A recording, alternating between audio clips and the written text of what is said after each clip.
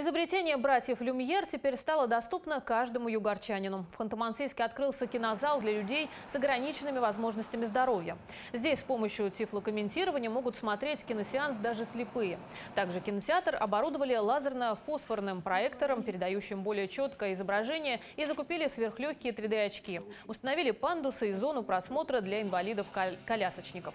Всего на модернизацию пока единственного подобного кинозала в Ханты-Мансийске потрачено 7,5 миллионов рублей рублей. Отмечу, что сегодня в Югре фильмы демонстрируют почти 160 кинозалов. К началу следующего года половина из них станут доступны для людей с ограниченными возможностями.